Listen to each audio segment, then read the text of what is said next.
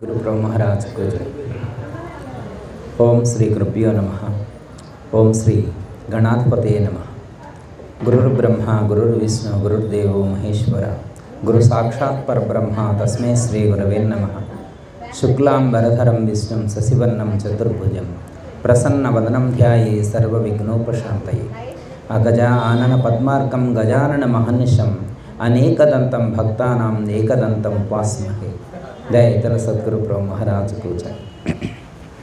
ఈరోజు మరి బిఎన్ఆర్ రెసిడెన్సీలో పరమాత్మ యొక్క అనుగ్రహంతో మరి రెండు మాటలు పలికేటువంటి అవకాశం పరమాత్మ కల్పించారు.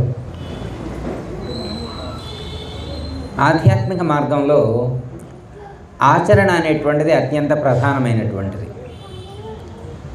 ఏ మనకు చెప్తారనమాట ఆచరణ లేకుండా వాచా వేదాంతం వల్ల ఎక్కువ ఉపయోగం అనేటువంటిది ఉండదు అని చెప్తారు. అంటే మనం చదువుకోవటం వేరు అంటే థియరీ పాట తెలుసుకోవటం వేరు ప్రాక్టికల్స్ చేయటం వేరు.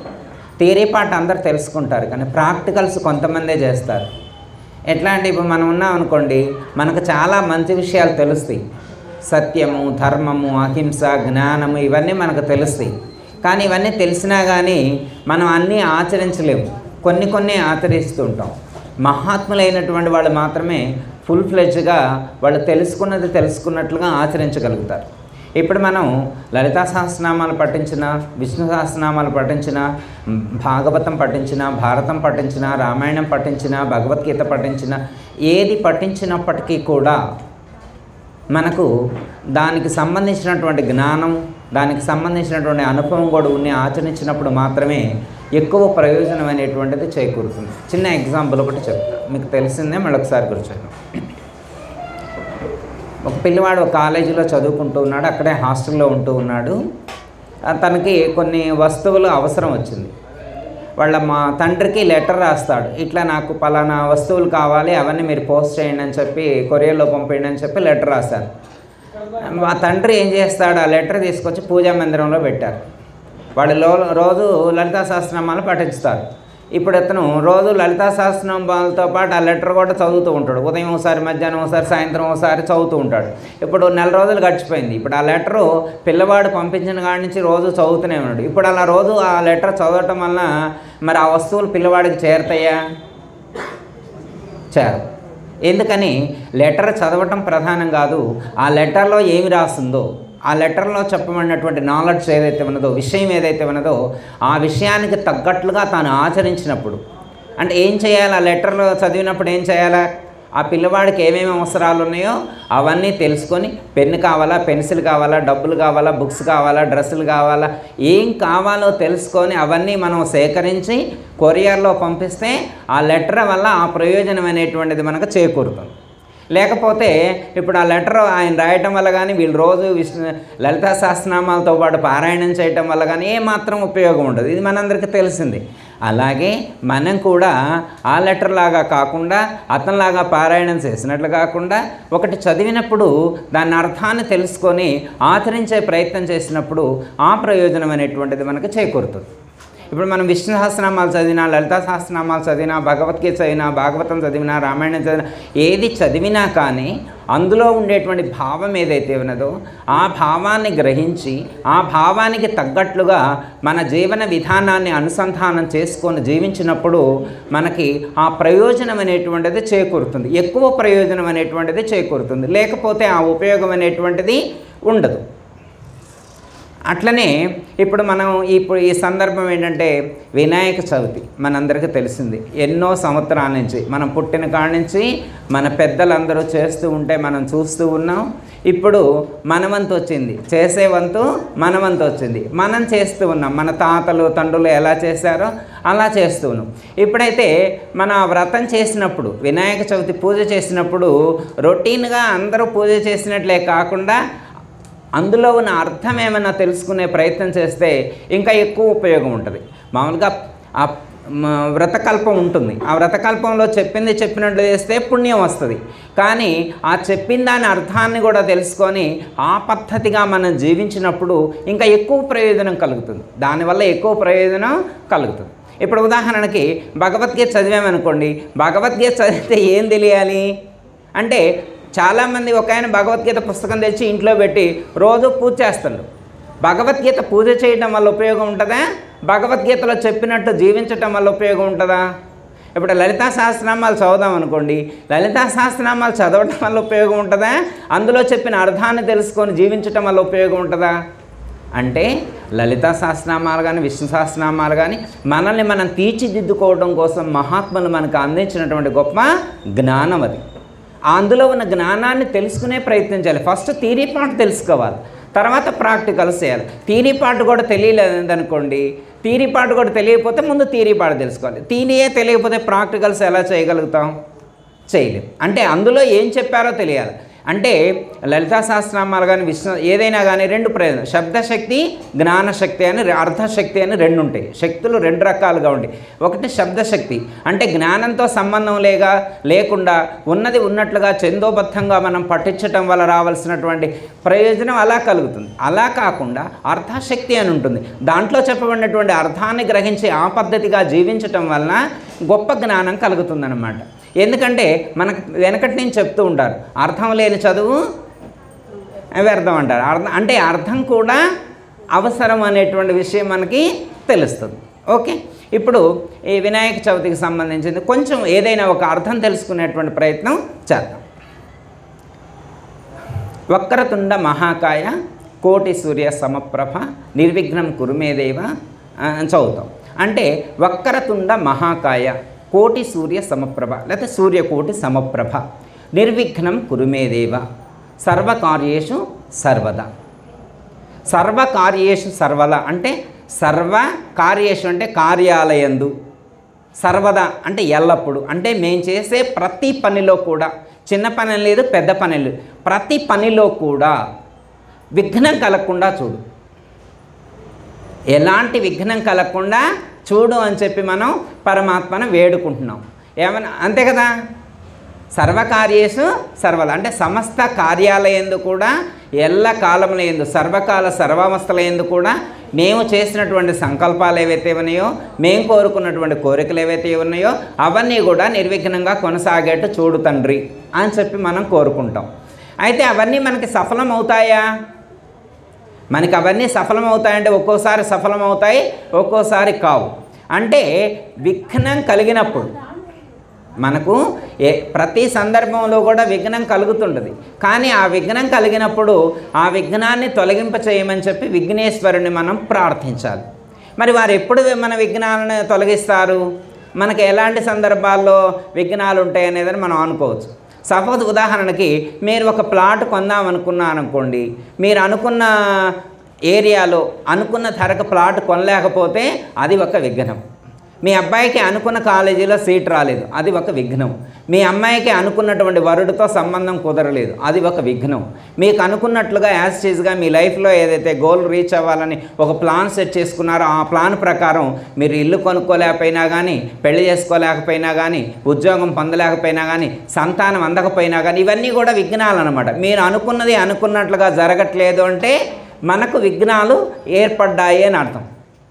మనకు విఘ్నాలు ఏర్పడ్డాయి ఇక్కడ ఏమంటున్నారు? వక్రతుండ మహాకాయ కోటి సూర్య సమప్రభ. నిర్విఘ్నం కురుమేదేవ. నిర్విఘ్నం ఎలాంటి విఘ్నాలు లేకుండా చూడు తండ్రి అని చెప్పి మనం ప్రతి సంవత్సరం కూడా వినాయకుడిని వేడుకుంటున్నాం. వినాయక చవితి వస్తే ఇదే కదా చదివేది? కొంతమంది రోజు కూడా ఈ శ్లోకాన్ని చదువుకుంటారు. కానీ ఎవరికి విఘ్నాలు లేకుండా ఉంటాయని చెప్తున్నారు? వక్రతుండ మహాకాయ అని చెప్పారు. ఎవరికి అంటే వంకర బుద్ధి లేనటువంటి వాళ్ళకు విఘ్నాలు ఉండవని చెప్తున్నారు. వక్కరతుండ అంటే పరమాత్మ మా యొక్క వంకరలన్నింటినీ సరిచేసి మా యొక్క వంకరలన్నింటినీ సరిచేసి మమ్మల్ని సరైనటువంటి మార్గంలో నడిపించు తండ్రి అని చెప్పి వేడుకోవడం. ఓకే. అంటే వంకర బుద్ధి అంటే ఏంటి? వినాయకుడిని వేడుకుంటే రావాల్సిందేంటి? సిద్ధి బుద్ధి అంటారు. మంచి బుద్ధి వస్తుంది అన్నారు. వినాయకుడు బుద్ధికి అధిదేవతగా చెప్పారు. దేనికి అధిదేవత? బుద్ధికి అధిదేవతగా చెప్పారు. ఎవరికైతే బుద్ధి సరిగా ఉంటుందో వాళ్ళకు విఘ్నాలు లేకుండా ఉంటాయి. ఇక్కడ ఎలాంటి బుద్ధి చెప్తున్నారు అంటే రైట్ నాలెడ్జ్. అంటే సరైనటువంటి బుద్ధి కలిగి ఉన్నటువంటి వాళ్ళకి ఎలాంటి విఘ్నాలు ఉండవన్నారు. అందుకే వక్రతుండ మహాకాయ అంటే పరమాత్మ మా వంకర బుద్ధిని సరిచేసి మా వంకర బుద్ధిని సరిచేసి మాకు ఉన్నటువంటి విఘ్నాలన్నింటినీ తొలగించు తండ్రి అని చెప్పి వేడుకోండి. ఓకే అర్థమైంది? అంటే మనకున్నటువంటి బుద్ధి ఎలాంటిది అనేటువంటిది ఎవరికి వాళ్ళే చెక్ చేసుకోండి. నేనున్నా అనుకోండి నాకు ఎలాంటి మైండ్ సెట్ ఉందో నాకు తెలుస్తుంది. నా పక్కన వాళ్ళకి తెలుస్తుందా? ఇప్పుడు సపోజ్ నేను ఇక్కడ వచ్చి కూర్చొని ఏ బాగా మంచి తెల్ల చొక్క తొడుక్కొని వచ్చి రెండు దేవుడి గురించి మంచి మాటలు చెప్పాను అనుకోండి నేను మంచోడిని అయిపోతానా? మంచితనం ఎక్కడ ఉండాలా? లోపల ఉండాలి ఎందుకంటే మనం లోపల మంచితనం లేకుండా బయటికి నేను ఒక వేషం వేసుకొని ఉన్నాననుకోండి అప్పుడు లోకాన్ని మెప్పించగలుగుతా. కానీ మరి భగవంతుని మెప్పించగలనా? భగవంతుడు నా బాహ్య రూపాన్నే కాకుండా నా లోపల ఉన్నటువంటి అంతర్గతాన్ని కూడా చూడగలడు చదవగలడు. అందుకే మనకి వేమన ఒక పద్యం చెప్తారు మీరు వినే ఉంటారు. అంతరంగమందు అపరాధములు చేసి మంచివాని వలను మనుజుడుండు ఇతరులు ఎరుగకున్న ఈశ్వరుడు ఎరుగడా విశ్వదాభిరామ వినరవేమ అన్నారు. అంతరంగమందు అపరాధములు చేసి అంటే లోపల ఏవేవో ఆలోచనలు ఏవేవో భావాలు కలిగి ఉండి అంటే రైట్ నాలెడ్జ్ లేకుండా అంతరంగమందు అపరాధములు మంచివాని వలన మనుజుడుండు. అంటే మంచివాళ్ళలాగా వేషం వేసుకొని మంచిగా ఉంటే మరి భగవంతుడు అనుగ్రహం కలుగుద్దా? చూడండమ్మా. ఇప్పుడు భగవంతుడు మనం మంచి డ్రెస్ వేసుకుంటే యాక్సెప్ట్ చేస్తాడా? రుద్రాక్ష వేసుకుంటే యాక్సెప్ట్ చేస్తారా? స్ఫటికమాల వేసుకుంటే యాక్సెప్ట్ చేస్తారా? విభూతి రేఖ పెట్టుకుంటే యాక్సెప్ట్ చేస్తారా? సింధూరం పెట్టుకుంటే యాక్సెప్ట్ చేస్తారా? దేనికి పరమాత్మ కనెక్ట్ అవుతారు? పరమాత్మ మన నుండి ఏం ఆశిస్తున్నారు? మన డ్రెస్ కోడ్ యాక్సెప్ట్ చేస్తారా? మన డ్రెస్ కోడ్ కోరుకుంటున్నారా? అంటే అంతరంగం అంటే పైకి మంచిగా ఉండి లోపల పర్ఫెక్ట్గా లేకుంటే భగవంతుడి యొక్క అనుగ్రహం కలగదు అని చెప్తున్నారు. అందుకే ఇంకో మాట కూడా చెప్తారు.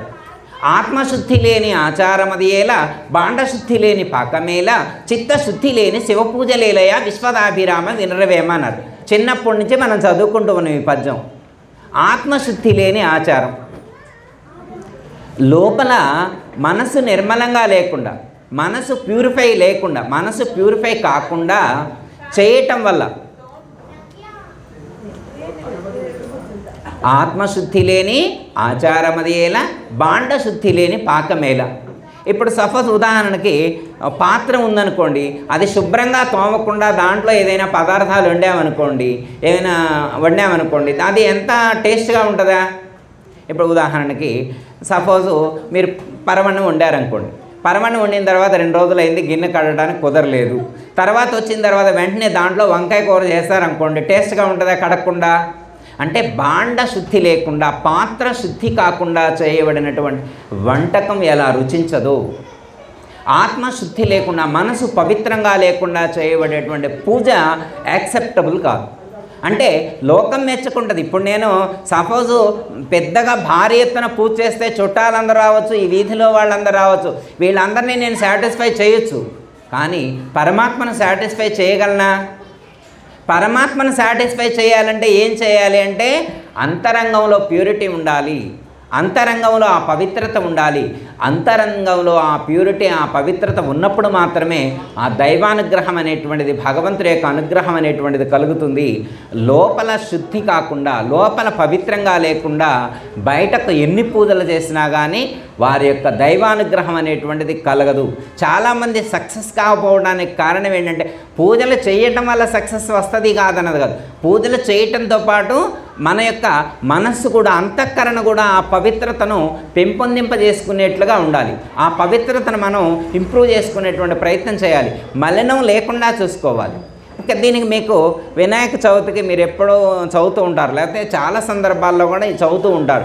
ఆ శ్లోకాన్ని ఒకసారి గుర్తు చేసుకోవచ్చు. మీకు తెలిసే ఉంటుంది. ఒకసారి గుర్తు చేసుకుందాం. ఇప్పుడు శుక్లాంబరధరం విష్ణుం శశివర్ణం చతుర్భుజం ప్రసన్నవదనం ధ్యాయి సర్వ విఘ్నోపశాంతయి ఈ శ్లోకం మనం చదువుతాం కదా. ఈ శ్లోకం ఈ శ్లోకం రానోళ్ళు ఉండరు కదా. ఈ శ్లోకం అందరికీ వచ్చు కదా. ఈ- శ్లోకంలో అదే చెప్పారు. ఫస్ట్ వర్డ్ అదే. ఇందాక ఏమని చెప్పారు? ఆత్మశుద్ధి కలిగి ఉండాలి అంటే మనసు శుద్ధి కలిగి ఉండాలి అని చెప్పారు. ఈ శ్లోకంలో ఫస్ట్ వర్డ్ కదా. శుక్లాంబరధరం. శుక్లాంబరధనం అంటే తెల్లని వస్త్రాన్ని ధరించినటువంటి వాడు అని అర్థం. ఎవరు తెల్లని వస్త్రాన్ని ధరించింది? భగవంతుడు. భగవంతుడు ఎలా ఉంటాడు అంటే ప్యూర్గా ఉంటాడు. తెల్లని వస్త్రాన్ని ధరించి ఉంటాడు. ఇప్పుడు భగవంతుడు తెల్లని వస్త్రాన్ని ధరిస్తే మనకేంటి? ఇప్పుడు భగవంతుడు తెల్లని వస్త్రాన్ని ధరించాడు అనుకోండి మనకేంటి ఉపయోగం? అంటే భగవంతుడు ఎంత ప్యూర్గా ఉన్నాడో మనకేం తెలియాలంటే మనం కూడా అంతే ప్యూర్గా ఉండాలి. తెల్లని వస్త్రం అంటే చాలా వైట్ కలర్ అనుకుంటారు. చాలామంది ఏమనుకుంటారంటే తెల్లని వస్త్రం అంటే వైట్ కలర్ ఇక్కడ వైట్ కలర్ కాదు సంకేతం. మలినము లేనటువంటి వస్త్రాన్ని ధరించాలి అనేటువంటిది అర్థం. ఆధ్యాత్మికంలో వస్త్రాన్ని దేనికి సంకేతంగా చెప్తారో మీకు ఐడియా ఉంటుంది ఏమనుకుంటున్నా? ఐడియా లేకపోతే సరి చేస్తా. ఆధ్యాత్మిక మార్గంలో వస్త్రం అంటే ఈ మనం వేసుకునేటువంటి డ్రెస్సులు కాదు. ఆధ్యాత్మికంగా చెప్పిన మీరు సపోజ్ ఉదాహరణగా పూజ చేసేప్పుడు ఉతికిన వస్త్రాన్ని ధరించాలంటారు. వైట్ అని కూడా చెప్పారు. ఇక్కడ మనకంటే శుక్లాంబరతనంలో వైట్ అని వరుడు పదం వాడారు కానీ వేద మనకి జనరల్గా ఇళ్ళలో ఏమని చెప్తారు? ఉతికిన వస్త్రాన్ని ధరించి పూజ చేయాలంటారు. ఏం పూజ చేయడానికి వస్త్రం ఉతకడంతో సంబంధం ఏముంది? అసలు వస్త్రానికి దేవుడికి ఏంటి సంబంధం? అంటే వస్త్రం అంటే ఇదొక్కటే కాదు వేదాంతంలో చెప్పబడినటువంటి వస్త్రం శరీరం. భగవద్గీతలో రెండో అధ్యాయంలో చెప్తారు వాసాంసి జీర్ణాన్ని యథావిహాయ నవాని కృష్ణాతి నరూపరాణి అని చెప్తారు. పరమాత్మ ఏమని చెప్తారంటే ఓ అర్జున ఈ లోకంలో ఉన్నటువంటి వాళ్ళందరూ జీర్ణమైనటువంటి వస్త్రాన్ని విడిచిపెట్టి నూతన వస్త్రాన్ని ధరించినట్టుగా అంటే మనకు అర్థం కావడం కోసం. పాత చొక్కా విప్పి కొత్త చొక్కా తొడుక్కున్నట్లుగా నేను కూడా ఈ శరీరం అనేటువంటి వస్త్రాన్ని విడిచి నూతన వస్త్రాన్ని ధరిస్తాను అన్నాడు. అర్థమైందమ్మా? పరమాత్మ దృష్టిలో వస్త్రం అంటే ఏంటి? శరీరమే వస్త్రం. పరమాత్మ దృష్టిలో శరీరమే వస్త్రం. అంటే ఇప్పుడు మనం శుభ్రంగా ఉంచాల్సింది తెల్లగా ఉంచాల్సింది ఏ వస్త్రాన్ని? శరీరాన్ని. ఇప్పుడు వైట్ కలర్ ఉన్నోళ్ళు ఉంటారు ఓకే. ఇప్పుడు మరి బ్లాక్ కలర్ ఉన్నోళ్ళు ఎలా వైట్ చేసుకుంటారు? అంటే మలినం లేకుండా చేసుకోవాలి అనేటువంటిది ఇంటెన్షన్ వస్త్రాన్ని పవిత్రంగా ఉంచుకోవడం అంటే మలినం లేకుండా చేసుకోవడం మలినం లేకుండా చేయాలంటే మామూలు వస్త్రాలు అయితే మనం సర్ఫ్ పెట్టో సబ్బు పెట్టో ఉతుకుతాం. మరి ఈ శరీరాన్ని ఎలా ఉతుకుతాం? ఈ ఈ శరీరాన్ని దేని మీద పెట్టి ఉతికితే దేనికి ఉన్నటువంటి మురికిపోయింది? శరీరాన్ని ఎలా ఉతుకుతాం? దీన్ని ఎలా శుభ్రం చేస్తాం? ఇంకోటి శరీరాన్ని పైన శుభ్రం చేస్తాం. లోపల ఎలా శుభ్రం చేస్తాం? శరీరంలో ఉన్నటువంటి నవరంధ్రాల నుండి ప్రతినిత్యం కూడా వ్యర్థాలు బహిర్గతం అవుతూ ఉంటే ఎలా మనం శుభ్రం చేస్తాం? అంటే శరీరాన్ని శుభ్రం చేయటం అంటే శరీరం దేనితో నిర్మితమైందో గుర్తించాలి. ఈ శరీరం దేనితో నిర్మితమైంది అంటే మనం తీసుకునేటువంటి ఆహార పదార్థాల చేత ఇది నిర్మితమైంది. కాబట్టి మనం తీసుకునేటువంటి ఆహార పదార్థాలన్నీ కూడా ధర్మబద్ధమైనటువంటి ఆహార పదార్థాలను తీసుకుంటే ధర్మార్జితమైనటువంటి ఆహారాన్ని ఎవరైతే తీసుకుంటారో వాళ్ళ యొక్క శరీరం పవిత్రమవుతుంది. వాళ్ళ యొక్క శరీరం దైవానుగ్రహాన్ని పొందటానికి కానీ దైవానికి సంబంధించినటువంటి జ్ఞానాన్ని పొందటానికి కానీ ఇది అర్హతను సంపాదిస్తుంది అని చెప్పడం అనేటువంటిది జరిగింది. ఓకే అర్థమైందమ్మా? శరీరం ఎలా శుద్ధి అవుతుంది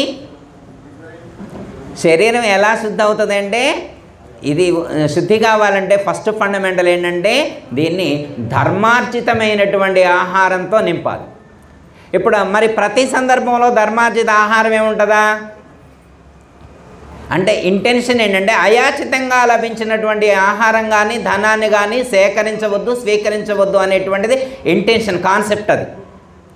ఇప్పుడు సపోజ్ ఉదాహరణకి మీరు ఎక్కడైనా ఫంక్షన్లకు కానీ పెళ్ళిళ్ళకి వెళ్ళారనుకోండి ఇప్పటి రోజుల్లో అంత లేదు కానీ పట్టింపు వెనకటి రోజుల్లో పట్టింపు ఎక్కువ ఉండేదన్నమాట. ప్రతి ఒక్కళ్ళ ఇంట్లో కూడా ఒక బుక్ ఉంటుందన్నమాట. మన ఇంట్లో ఫంక్షన్కి వచ్చినప్పుడు ఎవరు ఏమేమి చదివించారో రాసుకునేవాళ్ళం. ఎవరు ఏమేమి చదివించారో వాళ్ళు గిఫ్ట్ ఏమి ఇచ్చారు ఎంత కట్నం ఇచ్చారు అనేటువంటిది రాసుకుంటాం మళ్ళీ వాళ్ళ ఇంట్లో పెళ్ళి అనుకోండి ఏం చేస్తాం? వెంటనే ఆ బుక్ ఓపెన్ చేసి వాళ్ళు ఎంత చదివించారు మనకి? ఎనిమిది వందలు చదివించారు ఇప్పుడు ఎనిమిది వందలు ఎన్ని సంవత్సరాలైందో? రెండు సంవత్సరాలైంది. వడ్డీ వేసుకుంటే ఎంత అయింది? ఓ వెయ్యి అయింది. ఆ వెయ్యి ఇస్తే సరిపోయింది అని చెప్పి ఇట్లా రుణం ఉంచకుండా వాళ్ళ యొక్క రుణం ఉంచుకోకుండా అంటే అయాచితంగా ఏమీ తీసుకోకూడదు. అట్లా. ఇలా ఉండ అంటే ధర్మబద్ధంగా జీవించాలి. ఇప్పుడు మనం ఒకసారి ఫంక్షన్లకు కానీ పెళ్ళిళ్ళకి కానీ పిలుస్తారనుకోండి అలా వెళ్ళినప్పుడు వాళ్ళు ఎక్కడో మోసం చేసి ఎంతోమందిని మోసం చేసి ఎంతోమంది రక్తం పిండి ఆహారంగా మనకి ఇస్తారనమాట వీళ్ళు ఫైవ్ ఫైవ్ స్టార్ హోటల్లో అంటే మంచిగా ఎక్కువ మంది వెళ్తారు హైఫైకి వెళ్తారు. కానీ మరి అంత హైఫైకి వెళ్తే వాడు పెట్టే ఫుడ్ ఎలాంటిది? ఎంతమంది రక్తం పిండితే వాడు హైఫై ఫుడ్ పెడుతున్నాడు? మరి ఆ పాపం మనం కూడా పంచుకున్నట్లే అవుతుంది. అందుకే ఇక్కడ ఏమంటున్నారంటే ఆత్మశుద్ధి లేని లేదా శరీరం శుద్ధి కావాలి అంటే ఇది శరీరం దేనితో నిర్మితమైంది? దేనితో నిర్మితమైంది? ఈ శరీరం ఎలా డెవలప్ అవుతుంది? మనం పుట్టినప్పుడు తల్లి వాళ్ళలో ఉన్నాం. ఎంత ఉన్నాం? ఎంత ఉన్నాం one one feet one and half feet ఉంటాం తల్లి వాళ్ళలో ఉన్నప్పుడు. ఎంత వెయిట్ ఉంటాం అప్పుడు? త్రీ కేజీస్ ఉంటాం అనుకోండి. ఇప్పుడు ఎంత పొడుగున్నాం? ఎంత వెడల్పున్నాం? ఎంత వెయిట్ ఉన్నాం? ఇప్పుడు డెబ్బై కేజీలు ఉన్నాం. అంటే అరవై ఏడు కేజీలు ఎక్స్ట్రా ఎలా పెరుగును ఈ అరవై ఏడు కేజీలు కూడా తగ్గకుండా మెయింటైన్ అవుతుంది అనుకోండి ఈ అరవై ఏడు కేజీలు ఇన్ని సంవత్సరాలు మెయింటైన్ అవ్వడానికి కావలసినటువంటి ఫుడ్ ఎక్కడి నుంచి అయితే తీసుకుంటున్నామో ఆ ఫుడ్ మొత్తం కూడా ధర్మార్జితం అవ్వాలి అనేటువంటిది ఇక్కడ చెప్పినటువంటి ఉద్దేశం. శుక్లాంబరధరం అంటే తెల్లని వస్త్రం భగవంతుడు ధరించడం కాదు మనం కూడా అంతటి మలినం లేనటువంటి పాపం అంటనటువంటి పదార్థాన్ని తీసుకోవాలి ధర్మార్చితమైనటువంటి ఆహారాన్ని తీసుకోవాలి. అయాచితంగా రావాలని ఎవరు కోరుకోకూడదు. అయాచితంగా వచ్చామంటే ఖచ్చితంగా వాళ్ళకు రుణపడి ఉంటాం దాన్ని చెల్లించడం కోసం ఎన్ని జన్మలైనా ఎత్తవలసి ఉంటుంది అని చెప్తున్నారు. శుక్లాం బరధరం అందరికీ జయ గురు. మరిన్ని ఆధ్యాత్మిక రహస్యాల కోసం అచల బోధ ఆత్మబోధ భగవద్గీత అలాగే పండుగల్లో దాగిన అర్థాలు అంతరార్థాల కోసం మరియు యోగము ధ్యానము మొదలైన అనేక ఆధ్యాత్మిక తెలుగు ప్రవచనాల కోసం క్రింద ఉన్నటువంటి రెడ్ కలర్ సబ్స్క్రైబ్ బటన్ను క్లిక్ చేయండి. అలాగే ప్రక్కనే ఉన్నటువంటి గంట సింబల్ను నొక్కండి. అలాగే ఈ వీడియో మీకు నచ్చినట్లయితే లైక్ చేయండి. మరియు షేర్ చేయండి. జై గురు.